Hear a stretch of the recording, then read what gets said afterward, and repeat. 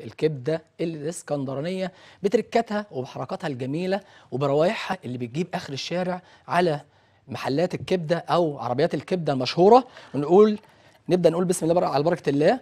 حوالي 3 معالق من الزيت على معلقة من السمن هنضيف 10 فصوص من الثوم بسم الله على بركة الله. والتركة بقى والحاجة الجميلة اللي تعمل الريحة الحلوة والأكلة الجميلة 50 جرام من الدهن الضاني عليها. الكبده الاسكندراني هنعملها بالعيش بتاعها أو العيش الفينو بتاعها الجميل سندوتشات الاطفال بيحبوها والكبار بيعشقوها.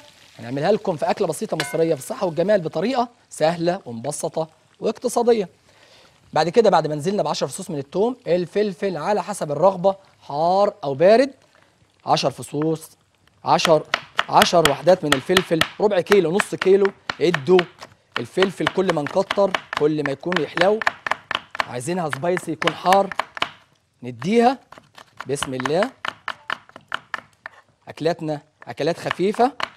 بنحاول بقدر الإمكان نبسطها ويكون اقتصادية وجبة غدا سريعة ومش مكلفة كتير ومنها مغذية مع شرايح البصل وشرايح الفلفل والطماطم وأحلى طبق سلطة معاها. حطينا 10 فصوص من الثوم على الزيت والسمن. ومعاها 50 جرام من الدهن الضاني. اللي ما بيحبش الدهن الضاني مفيش أي مشاكل ينزل بالكبدة مع الفلفل.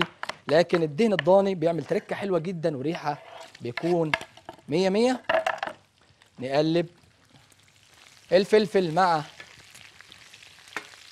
الثوم مع الدهن الضاني.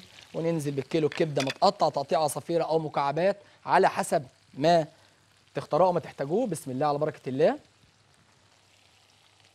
لو الكبده اللي حضرتك جايباها فريش جايباها طازه بنحطها في التلاجة حوالي ساعة زمن بالظبط.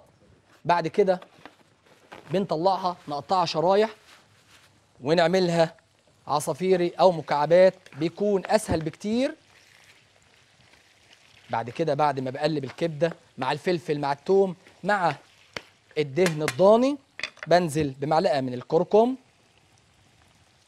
والسبع توابل مشكلين المعتادين. النهارده الكركم معانا سيد الكبده عشان تعمل تركه وريحة جميلة. بعد كده نحط الفلفل الأسمر مع الحبهان مع ورق اللوري مع جوز الطيب مع الكزبرة مع مع الكزبرة. كل ده حصى. نطحنه فريش جاهز على طول. الطبق الأولاني بتاعنا خلص.